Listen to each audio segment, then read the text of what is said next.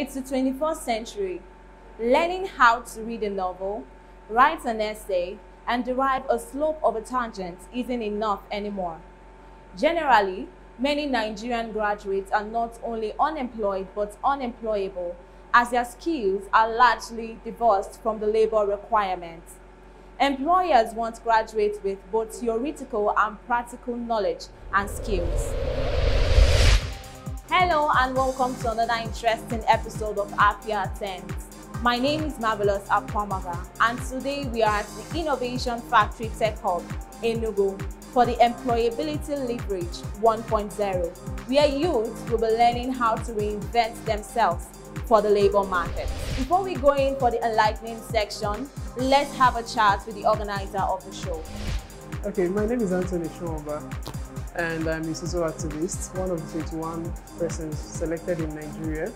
And here in Enugu, I'm working under the thematic area of employment, trying to solve the problem of employment for the youth here in Enugu State. What inspired the, the project is this.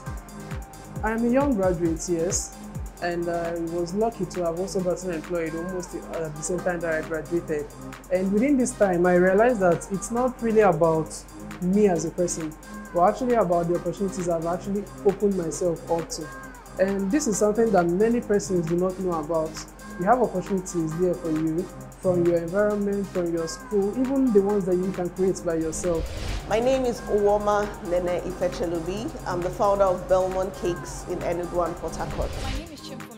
I'm a lawyer turned project manager. I'm the founder of We Are for the Child Foundation, an organization that fights against child sexual abuse. Hello everyone, my name is Jeremy Noye Peters. I'm the creative business and strategy lead for Africa Media and I was invited today to talk about finding opportunities in the creative media space as an undergraduate. Um, you always have to look within.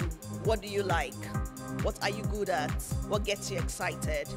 You know, these are um, a few things that will guide you to make that choice then I always encourage people to open up to learning, go for courses. You can never tell what you love to do if you haven't been exposed to it. So it's important for you to keep learning till you find that thing that. You know, for me, I realized I was passionate about children, not only children, but I was burdened by the increase in the number of child sexual abuse cases. Like I said, I'm a lawyer. So that became a cause for me to What keeps you in business, what keeps you in that space, what makes people want to work with you is your virtue of service to them. Keep serving. When you serve your community as a volunteer, when you identify a problem and you stand up to fight for that problem, even if it's one person's life you're changing, you're also changing yourself. It doesn't happen in isolation. You can't change someone's life and you're not changing yourself. You're changing and yourself. the more you expose yourself to knowledge, the more attractive you will be in the labor market. People will want you, even as a business person or as you know somebody that wants to be Having employed. the mindset of a salesman. You can't take away sales from creativity because it's not the photograph that makes the money.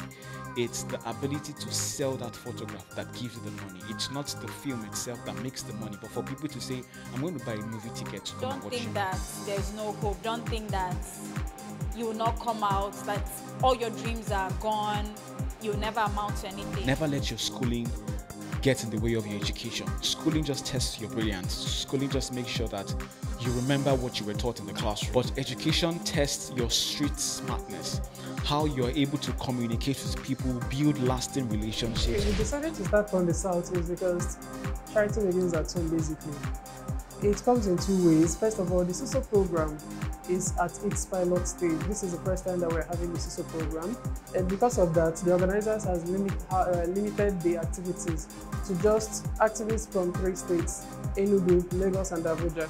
And because of that, we were asked, yes, to start from our community. And that's a wrap on today's episode of Afia Attends.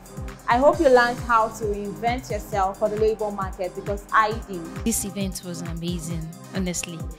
I don't think I can go get over it. It's been a transformative journey altogether. So it's a good time to learn, unlearn, and relearn. I learned that you should keep learning, even though it it might not pay um, immediately, but it, there is necessary because you are making a headway for your future. I learned how to become more creative, as in leveraging on s- different hybridization of skills in application to employability leverage. Until our next event together, stay safe and keep watching Afia Attends on Afia TV.